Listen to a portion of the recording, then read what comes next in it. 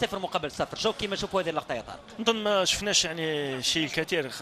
ثلاث فرص نظن بالنسبة للفريق شبيبه بجايه ما شفناش فرص كثيرة. كنا نستناو يعني تحركات أكثر بالنسبة لفريق شبيبه بجايه يعني فريق اللي يعتمد على الكرات الطويلة. نظن بلي هذا هو الشيء